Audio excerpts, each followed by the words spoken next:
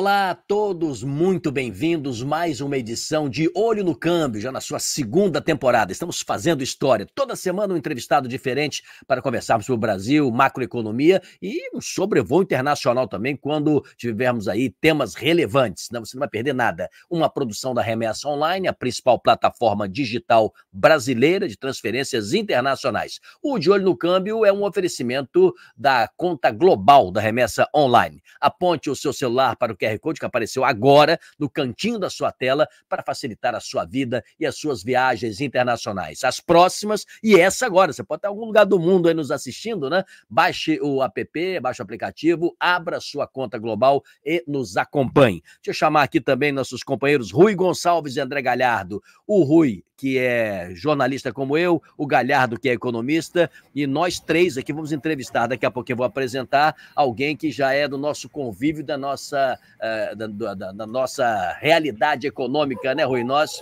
que trabalhamos em outros lugares também, várias vezes o entrevistamos juntos, né? E vamos repetir a dose. Tudo bem, Rui?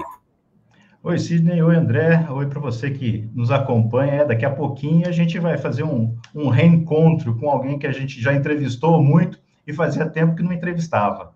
Isso, vamos atualizar, saber que ele anda pensando aí do Brasil, da economia em geral. Tudo bem, galera? Como é que foram as coisas aí? A Páscoa, como é que nós passamos esses dias aí? Agora estamos retomando, ligados na tomada novamente, né?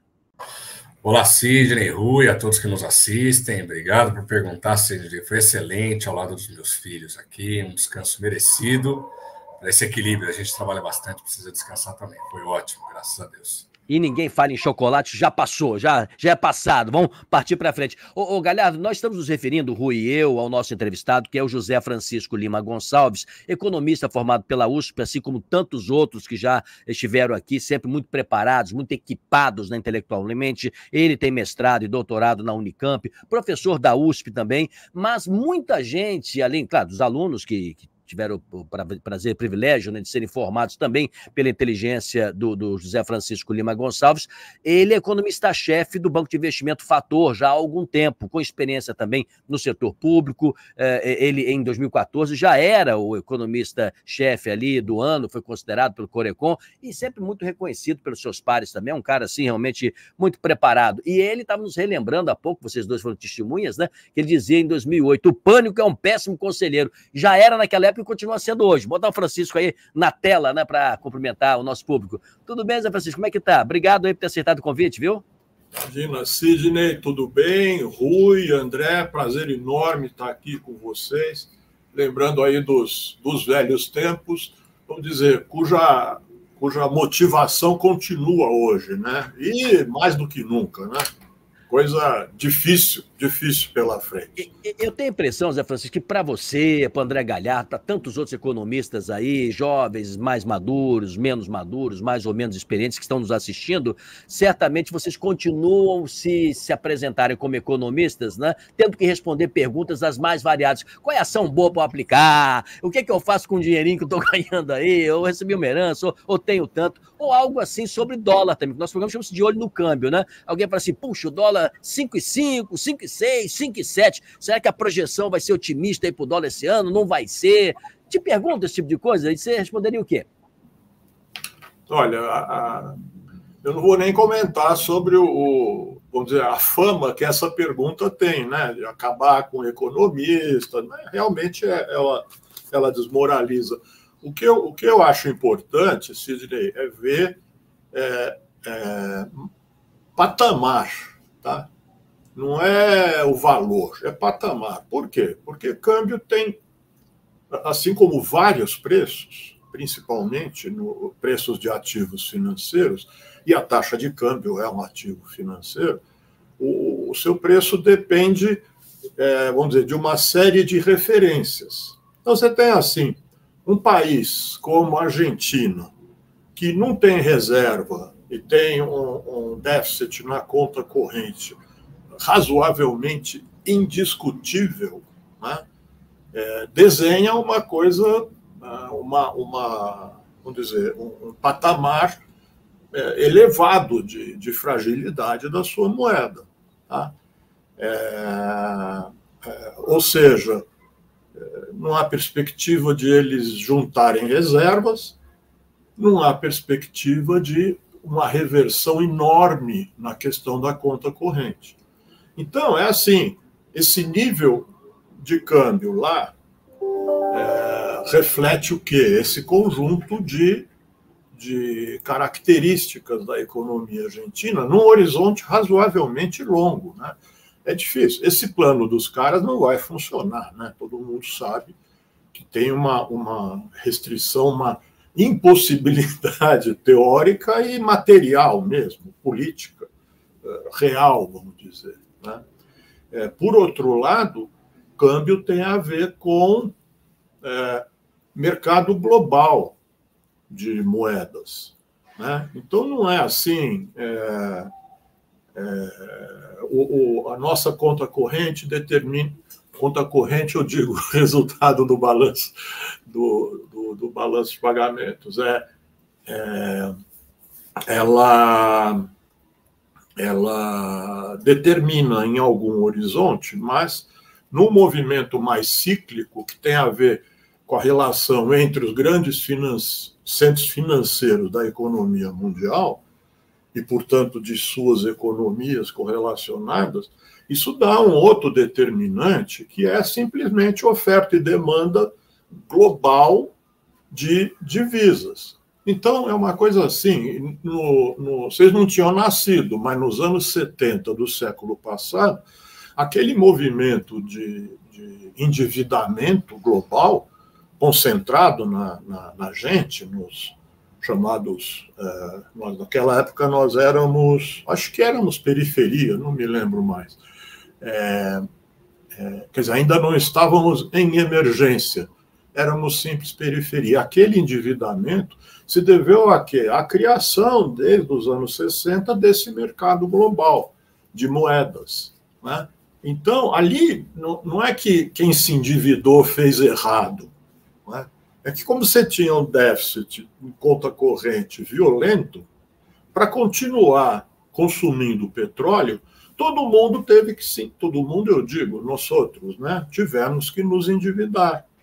Então, você tem movimentos assim que têm a ver não com a sua situação é, é, apenas, você tem a ver com esse com a configuração do mercado global, tá? E com a, as, as dificuldades e, e soluções do mercado global. Em terceiro lugar, você olha para um nível um pouco mais curto, né? E esse um pouco mais curto tem a ver com finanças públicas, vamos dizer. É um horizonte que aí é mais cada país. É, por quê?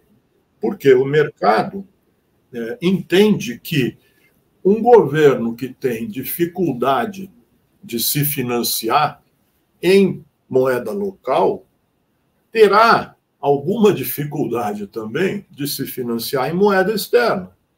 Então, qualquer compromisso externo que um governo, que um governo tenha, você. E aqui eu estou falando assim, a política econômica no horizonte do nosso cotidiano aí. Não é a semana do especulador, tá? É um horizonte um pouco mais alongado, dá para pensar até na política monetária nesse horizonte. Você tem grandes linhas, médias linhas, essas outras linhas, e depois tem a especulação no cotidiano. Né?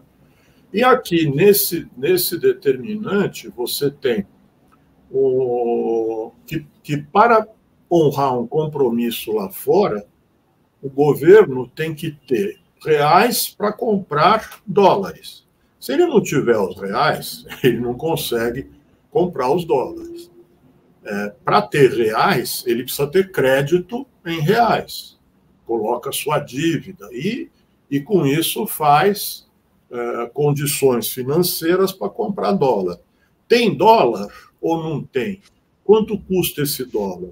O problema é que o preço do, do dólar vai depender da convicção de quem vende dólar para o governo, de que o governo vai ter reais para pagar e de que o governo não vai ficar ah, se endividando com mais dólares no mês seguinte, com o que essa o aumento da dívida em dólares, em dólares é, eleva a necessidade de aumentar a dívida em dólares. Ou seja, a, a hipótese de um círculo vicioso no financiamento em reais engancha numa perspectiva viciosa de endividamento em, em, moeda externa.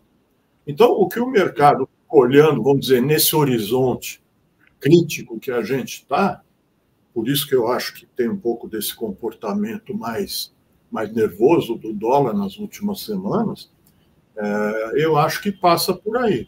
E tem o, o, cotidiano, que é mais diferencial de juros, é mais assim, como vai a nossa política monetária e como vai a política monetária lá fora.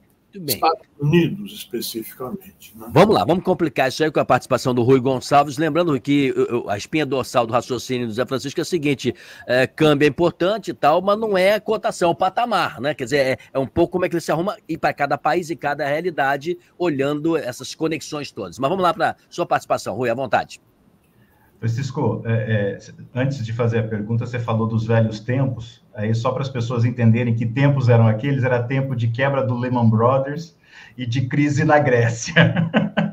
era só isso que estava acontecendo no mundo, né?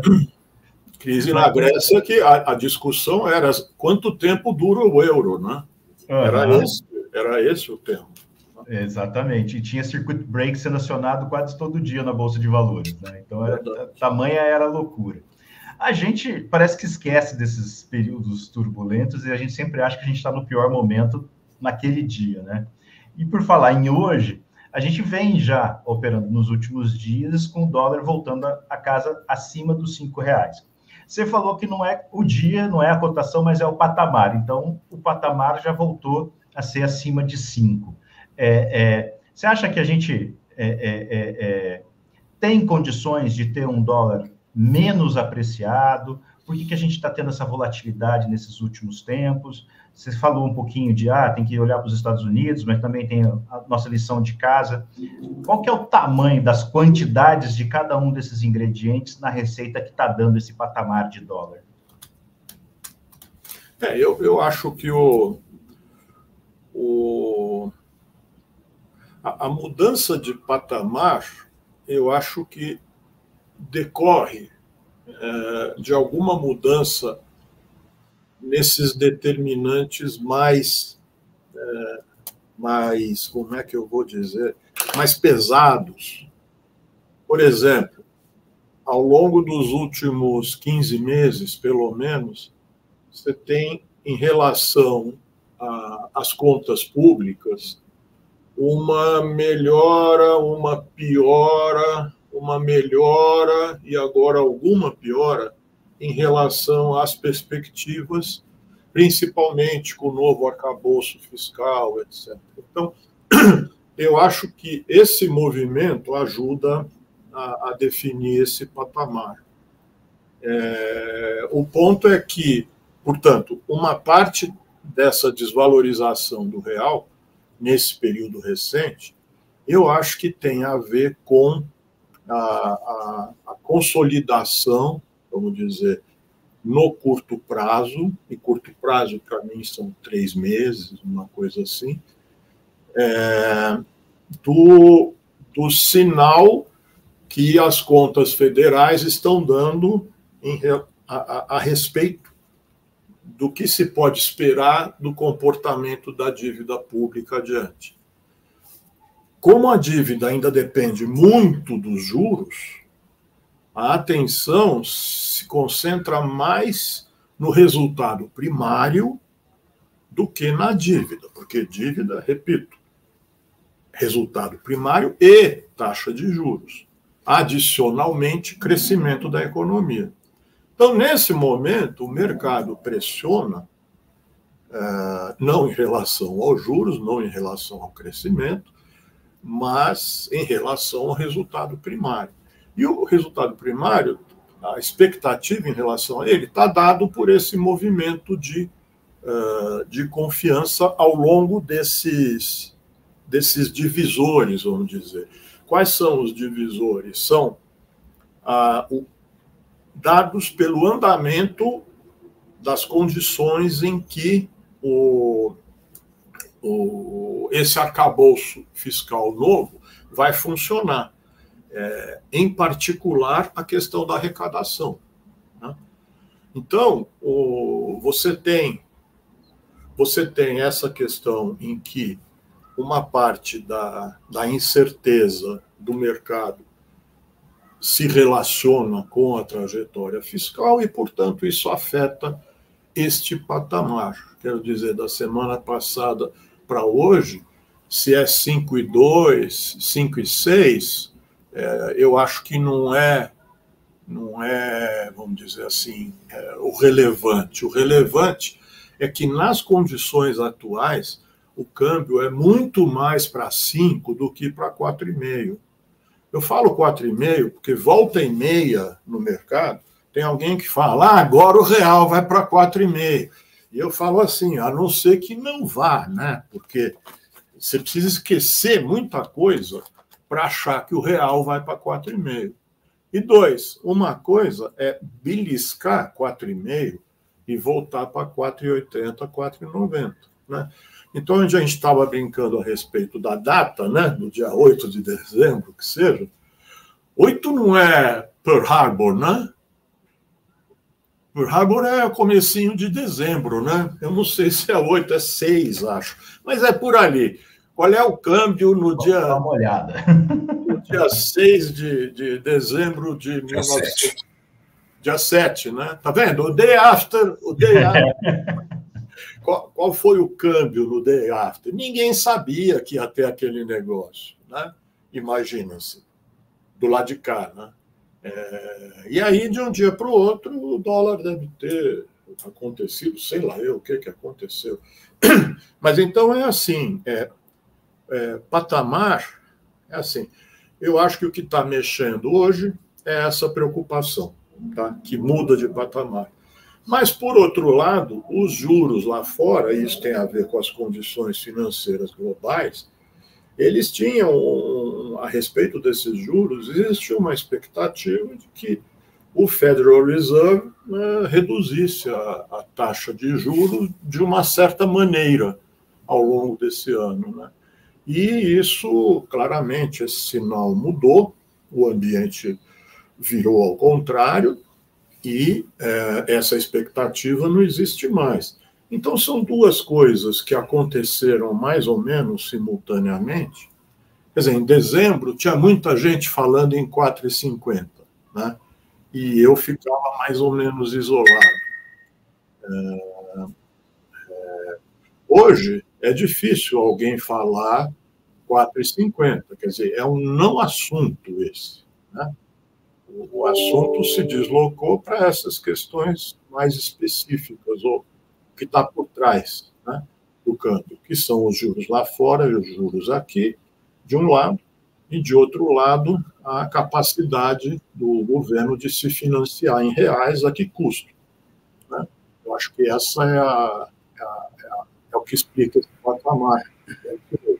Ou seja, enquanto essas coisas não forem uh, não, não forem objeto de encaminhamento diferente, o diferencial de juros vai continuar mantendo o real desvalorizado, de um lado, e, e de outro lado, a, a, a discussão sobre qual a trajetória da meta fiscal, uh, vamos dizer, aceitável como meta né? como uma coisa que você vai buscar, não como uma coisa que você vai cumprir, porque ninguém sabe do futuro se você vai cumprir ou não, mas se você vai buscar e se tem sentido, né? se tem sentido. Então a discussão nesse momento é se zero de resultado primário tem sentido. Tá? Eu acho que não tem, mas eu acho que a diferença cabe ali nos 0,25% do PIB de déficit que a lei permite, né? e cabe em mais 0,25% que o governo vai conseguir, ou mudando um pouco da meta, ou ajustando as coisas por meio do, de contingenciamento, porque são, eu acho que são valores modestos. Né? E modestos é isso, é 60 bilhões nesse ano. Sim. Agora, o ano que vem, o ano que vem é complicado mesmo, é muito difícil.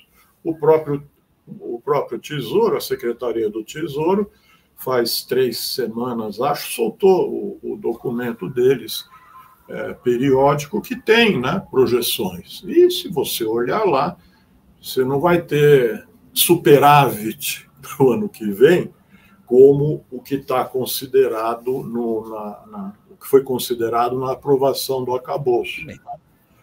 Então, é, essa é uma discussão que não, não vai se encerrar agora, percebe? É uma coisa. Não, isso não tem a dúvida. Tem a dúvida. Francisco, vamos colocar o, o Galhardo na conversa. Eu não sei que caminho ele vai seguir, mas olha, é, o Banco Central vai divulgar contas públicas, arrecadação pode ser um tema, crédito pode ser outro, mas eu não sei que o Galhardo vai colocar para jogo aí para sua participação, não, Zé Francisco. Vamos lá, Galhardo, com você.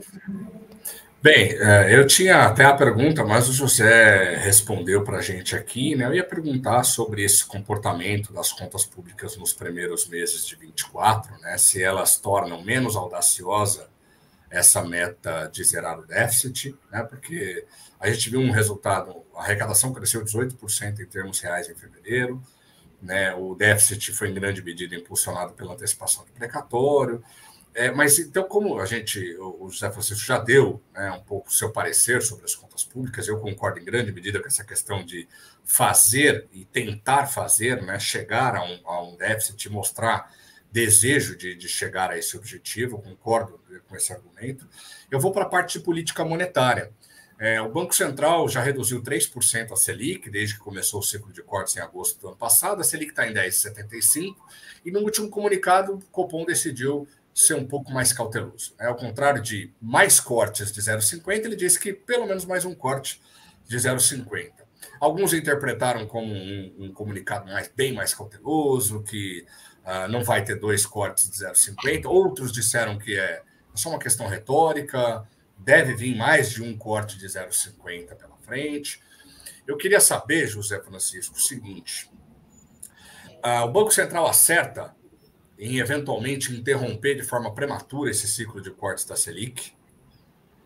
É, e essa taxa perto de 9,75, 9,5, não seria alta demais se a inflação chegar no patamar que o próprio Banco Central está falando, que o Banco Central está projetando IPCA de 3,4%, que é muito baixo. Né? Qual que é a sua opinião sobre a condução da política monetária no Brasil atualmente? Ó, oh Perguntinha brava, né, André? Mas vamos lá. Desculpa, viu? É, é, não, é sério, o, o, porque esse eu acho que é um ponto em relação ao qual a gente tem que ter o máximo possível de desprendimento. Desprendimento aqui, é, eu acho que é o seguinte: o mundo adota o tal do regime de metas de inflação é, o mundo está, é, portanto, busca praticar o que está naquele manual. Tá? Eu chamo de o by the book da política monetária é aquele ali. É, não adianta, eu estava lendo um, um, textozinho agora há pouco que vai bem assim. É, não adianta imaginar que o Powell vai chegar na entrevista dele e falar a curva de Phillips morreu. Ele não vai falar isso. Nenhum banco central vai negar nenhum dos, uh, vamos dizer, dos pontos basilares do regime de metas. Tá? Quer dizer, é, é a obrigação deles. Por quê? Se é um regime de, de política monetária, é porque o combinado é esse diálogo entre o mercado financeiro e o Banco Central. Financeiro incluindo o mercado de moedas, né? E o Banco Central. Então, essa interrelação, é, ela é, vamos dizer, é o decisivo no curto prazo. Por quê? Daí pode sair uma instabilidade no curto prazo muito perigosa, porque exige do Banco Central uma resposta. Se você tiver um, um momento de instabilidade muito forte, dado pelo risco, vamos dizer, de os bancos centrais reconhecerem que a curva de Phillips está morta, é, se vem uma coisa assim, a, a, a, pressão sobre o Banco Central, ou seja, a pressão sobre juros de mercado, vai ser enorme. É só lembrar 2008. 2008, todo mundo olhou e falou assim: os bancos vão quebrar. Né? Aí, pânico, é, dólar para cima, juro para cima, travou o mercado todo. Como é que destrava isso? O Banco Central americano comprou. Isso é importante lembrar. O Rui estava lembrando de umas coisas, eu gosto de lembrar dessa. O Banco Central americano comprou e pôs no seu balanço as, as empresas produtoras de automóveis dos Estados Unidos pôs no balanço. O balanço do Fed tinha lá, empresa tal, maioria das ações disso, disso e daquilo. Quer dizer, é, numa situação de, de crise, você vai para coisas extremas. Então, o Banco Central, ele não pode, vamos dizer, moralmente, moral no sentido da moral, ou melhor, da ética predominante naquele segmento da humanidade, é, ele não pode apostar nesse risco. Não pode. É, é, é, o Paulo falando assim: eu não sirvo para nada. Né? Então, ele tem que dar precisamente o recado que vai aí. Aí entra muito claramente a tua preocupação. É, sim, mas em que momento desse ajuste ou dessa conversa entre o Banco Central e o mercado nós estamos? Né? É, tudo bem, está todo mundo esperando que o Banco Central haja by the book. Né? O que, que é o by the book nesse momento?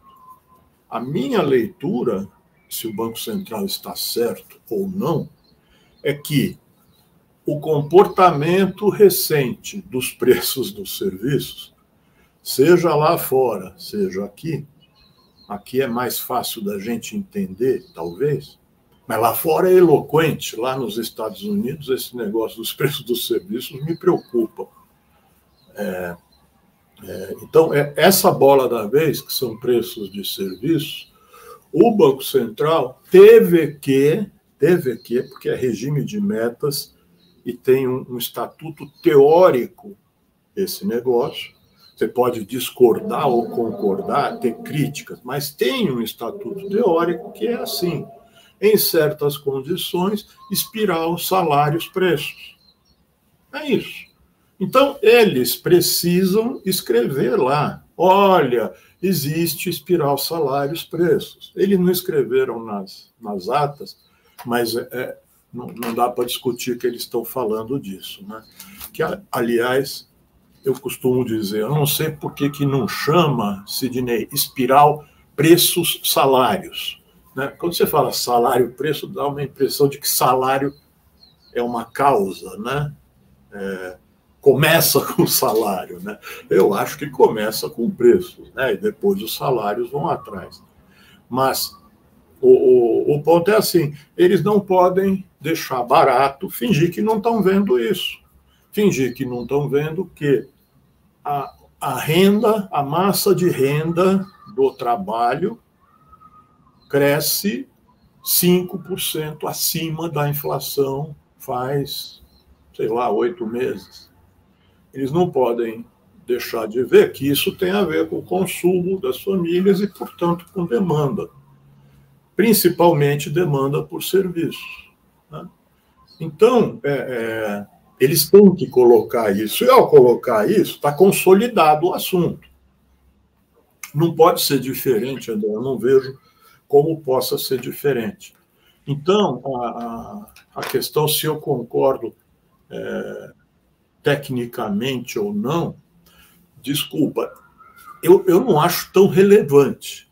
O relevante é que no by the book, eles têm um argumento. Os tais dos preços dos serviços mais intensivos em trabalho e ou os chamados menos voláteis, eles pararam de cair. Se pegar o IPCA 15 de outro dia, estão acelerando há quatro meses. Vamos falar isso. É, eu falo assim, isso faz parte, é uma mudança de preço relativo, o rendimento do trabalho está aumentando, isso passa por uma aceleração da inflação. Mas isso é tudo que o regime de metas quer inibir a aceleração da inflação. Então, para eles, se isso vai, é, vai, vai abater em voo uma recuperação dos salários reais vis o que aconteceu de perda dos salários no período recente, isso é irrelevante. O relevante é que a inflação não pode acelerar.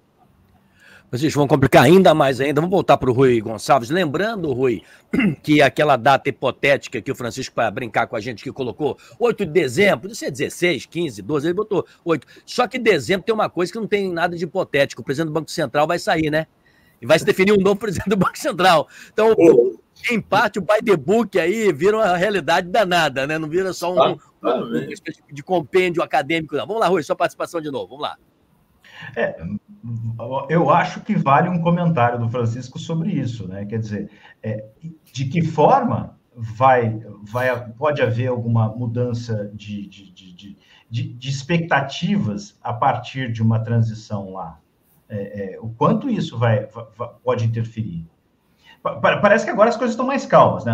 Se fosse um ano atrás, é, é, é, o clima era de tensão sempre que se falava entre presidente do Banco Central e troca de presidente. Agora parece que está tudo bem e vai chegar tranquilamente ao final do mandato. Aí vem uma transição. E essa transição, bota o que nessa receita? É. O ponto aí, esse ponto é, para mim, é, o, é, o, é, um dos dois fundamentais até o fim do ano. É, mesmo depois da definição de nomes e datas, né? porque tem, tem uma peculiaridade nessa transição, que como é a primeira, ninguém sabe direito se o presidente, o novo presidente, for um atual diretor. as datas disso e principalmente sabatina, se tem. E, e qual patamar que vai ser para pegar tua, uma, uma fala sua também? Tem patamar aí também, né? Não, não, não. É assim, ó. O, o, é. Mas, mas eu não, não, não queria perder aqui a minha, a minha, a minha linha, que é assim: é, você tem é, é, esse problema na, na, na, definição, você tem um outro problema que, se sai um diretor para a presidência, ao mesmo tempo tem dois outros diretores saindo, então são três vagas. Né? Da mesma maneira, então, qual é o sinal é, é, qual é o sinal a respeito de quem são as pessoas e qual é o timing de, de execução disso, tanto indicação quanto ah, sabatinas, etc. Né? É, então tem uma, uma, uma indefinição que vai ser superada em algum momento. O problema é a parte que não depende de uma decisão, que depende do quê? Da prática cotidiana. Né? E assim como o, a atual composição da diretoria do Banco Central teve que é, praticar cotidianamente uma coisa para chegar até hoje com o grau de sintonia que existe entre o Banco Central e o mercado, dizer, isso não estava dado desde sempre. O ano passado teve muita crítica é, em cima da diretoria atual do Banco Central, falando: os caras estão dando mole para o Lula. Aí a leitura virou o contrário: pô, os caras estão batendo pesado. É, aí a leitura virou o contrário: pô, o cara foi no, na, churrasca, na churrascada do, dos outros sem camisa amarela. Aí falando: tá vendo? É, ou seja, esse dia a dia é onde as convicções se formam. Então é assim, não adianta eu dizer agora, não, pelo que está desenhado aí, o Gabriel Galípolo vai ser indicado e, até onde eu sou capaz de imaginar, vai ser aprovado como presidente do Banco Central. Então, é, como se não bastasse o fato de ele não ser exatamente é, da, da, da, turma do, do regime de metas, como economista, ele tem que ser. Ele tem que chegar lá no Banco Central e falar: existe um risco nos preços dos serviços. Ele tem que falar. Né? Como tem falado em público. Né? É, por quê? Porque não dá para negar, eu insisto, não dá para negar que quatro meses seguidos os preços dos serviços menos voláteis voltaram a acelerar. Tá? E isso corresponde cronologicamente a um determinado mercado de trabalho, vou dizer, forte, bom, saudável, ainda bem, que está tendo mais emprego, mais ocupação, mais renda, etc. Mas ele não pode dizer que não. E é, quem sou eu para adivinhar? Duvido que ele diga que ele diga não. O ponto é que, mesmo assim, mesmo assim, é, o pessoal vai cobrar alguma coisa pela dúvida. Como em algum momento do, do ano passado foi cobrado da, da atual diretoria alguma dúvida. Falar, pô, os caras estão. Essa troca de afagos aí, como é que é? O tentar buscar a meta que o André uh, comentou uh, foi consolidado pelo atual presidente do Banco Central, né? De falar, não é bem a meta, mas é buscar a meta e tal.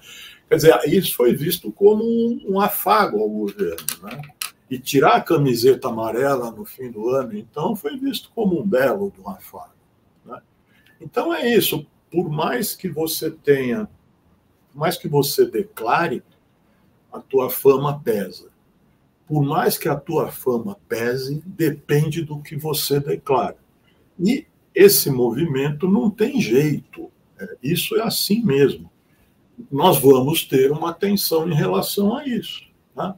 Isso cria uma certa rigidez no piso da taxa de juro. Essa é a minha, a minha leitura. Não porque a nova diretoria goste disso. Não é isso. É porque a reação do mercado vai ser pressionar os juros nessa direção. Tá? Deixa eu... Só, é só uma coisinha, Sidney, que eu acho muito importante. Por favor. Lembrar da, da, dessa coisa da, das peculiaridades das situações. Né?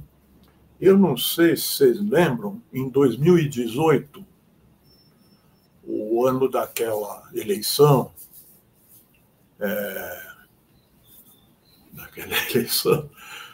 Em maio, teve a greve dos caminhoneiros. Vocês lembram disso? Que aconteceu com a inflação? Pumba. Que aconteceu com o câmbio? Pumba.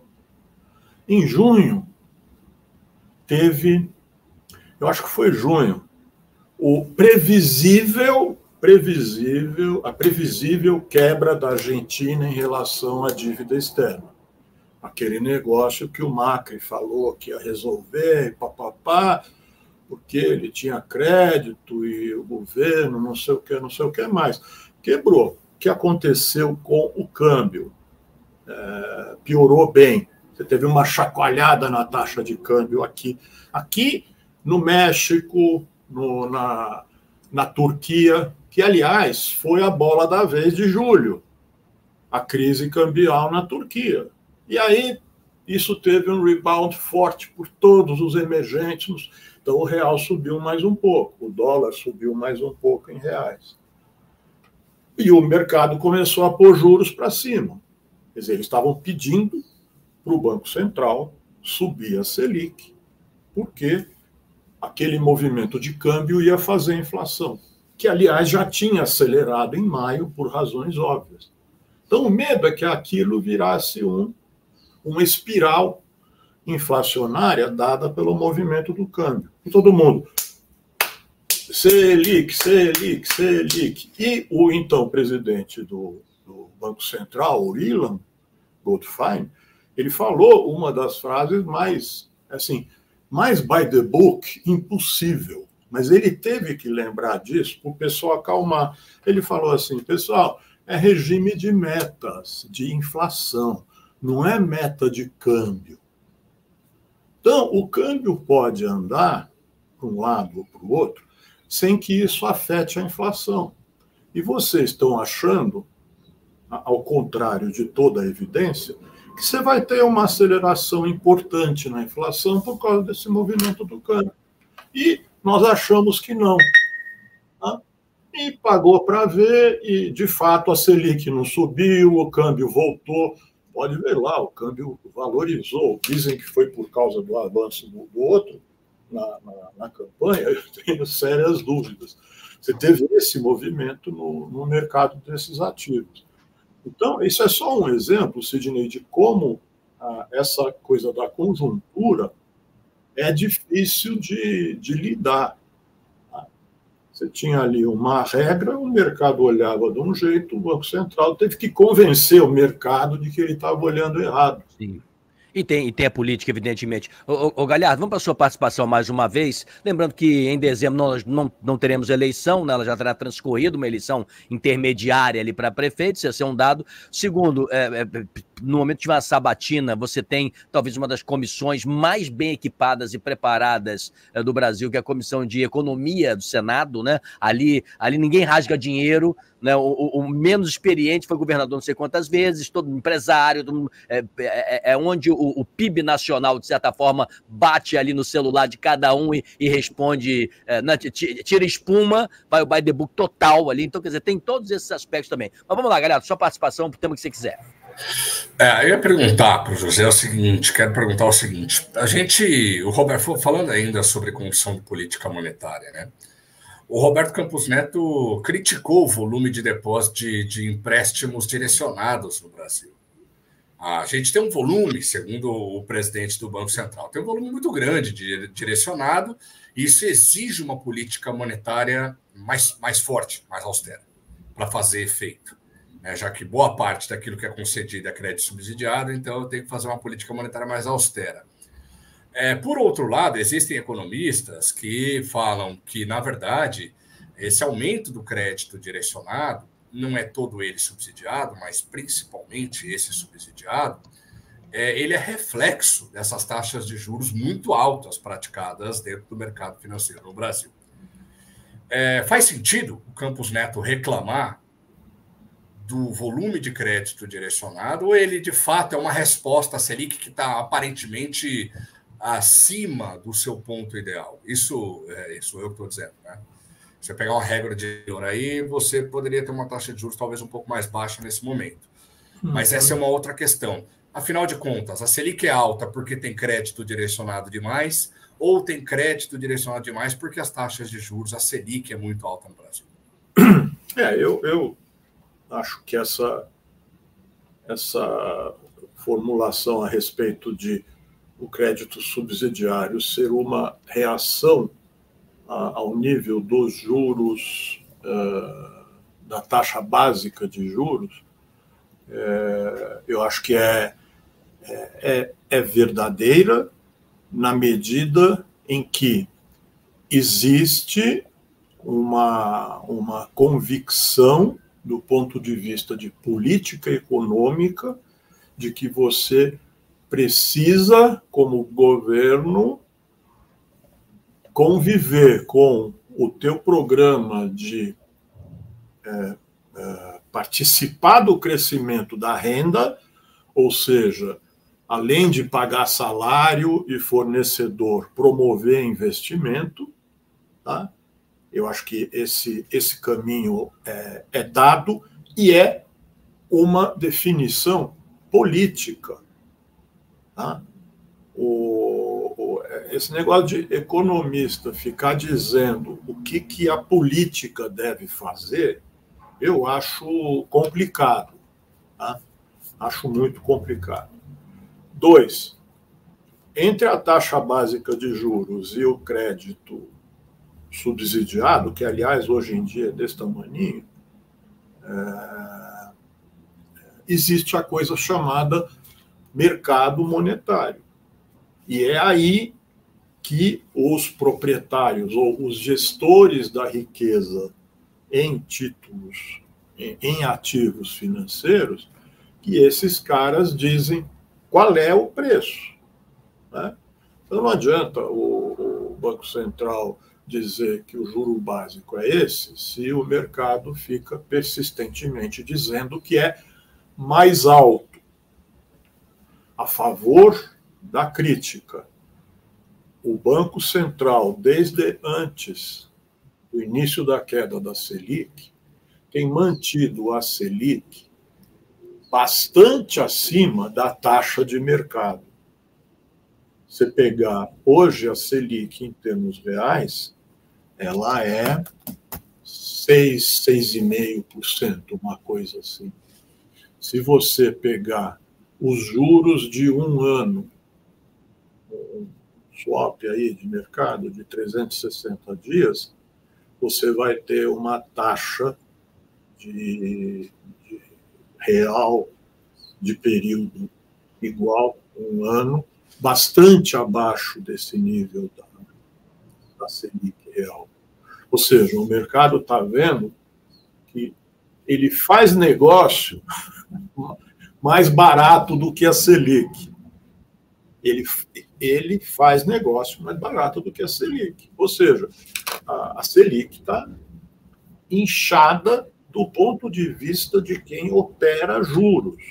É isso que está sendo dito. É, ah, mas hoje o juro de não sei quantos anos subiu para 11%.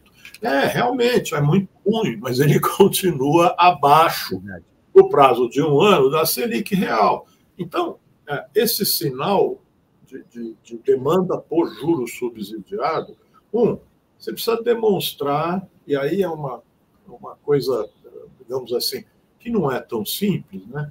que o mercado de crédito não tem alguma segmentação que não tenha segmentação nenhuma, não dá para dizer. É, isso quer dizer o quê? Até que ponto você tem um contágio das condições financeiras gerais por parte de taxas, se existem taxas subsidiadas. Né? Uhum. É, eu acho que esse é o, esse é o ponto. Bem lembrado. É, e, e, tem o outro horizonte, finalmente, desculpa por demorar assim, mas é que esses temas que vocês levantam, eu acho que são Bom, é, é onde devia parar e pensar e não ficar repetindo, né? É, parar e questionar. O que eu fico, o que eu fico pensando é assim: é, se você tem excesso de demanda, você tem inflação. Tá, muito que bem. Se tem juros altos e não tem subsídio, o que acontece com a oferta no dia seguinte? Ela não cresce, não adianta. Ou seja, então você tem essa questão de coordenar política monetária, demanda corrente e investimento, que não é o, o mercado que faz. O mercado faz isso que está aí. É falar, dane-se o investimento, tá? vai lá na comissão do, do, do Congresso, o, o, senador vira e fala: esses economistas são idiotas. Como é que a minha, como é que a minha indústria, o meu setor vai conseguir crescer desse jeito. Então, essa, essa, é, essa concatenação de prazos mais curtos, com horizontes mais longos, que a taxa de juro é que tem que fazer, é, a, é, a minha opinião está desarticulada. É isso, nós temos nove meses de queda de juro e o mercado acha que o juro está alto. Claro. Olha, Zé Francisco Lima Gonçalves, muito obrigado por sua participação. Não se incomode se a resposta é mais longa ou mais curta, ela tem que ser mais precisa e mais refletida. Tem um problema grave nesse mundo atual das redes sociais, que tudo é, é, é um segundinho, dois segundinhos, e aí depois tem, uma, tem, um desastre lá na frente. Você não sabe por quê, né? Claro, você não, não, não, não discutiu, é, a, não a exaustão, nem precisa ser exaustão, mas não discutiu profundamente os temas. E foi o que você fez aqui é, ao aceitar o nosso convite, nos ajudou muito aqui a, a pensar esses temas. Muito obrigado e Obrigado. espero que possamos tê-lo novamente mais adiante. Opa, sem dúvida, vai ser uma honra, um prazer e trocar ideias e, e, e partilhar dessas angústias que vocês têm, que eu acho que são as angústias das pessoas que têm, vamos dizer assim, uma posição séria em relação a tudo que está acontecendo é uma consciência um pouco maior do que está acontecendo. Rui Gonçalves, obrigado pela sua participação. Professor André Galhardo, que ainda tem que dar aula ainda, né? Tem isso, escreve livro, ele, ele trabalha ali na, na, no, no, no, no, dia a dia, ainda dá aula, o homem é danado. Galhardo, um grande abraço, até a próxima edição, viu? Obrigado, Sidney, um abraço para você. E para você também, que nos acompanhou até aqui, não é? No, no, De Olho no Câmbio, já em segunda temporada, essa produção que nos oferece aqui a Remessa Online, que é a principal plataforma digital brasileira de transferências internacionais. E olha, De Olho no Câmbio é um oferecimento da conta global da Remessa Online. Aproveite a oportunidade, aponte seu celular aí para o QR Code, não é? no cantinho da tela, facilite a sua vida nas suas próximas viagens internacionais, baixe app, abra sua conta global, se inscreva no canal, toque sininho, faça perguntas, enfim, fique próximos da gente que a gente gosta muito de vocês. Um abraço, tchau.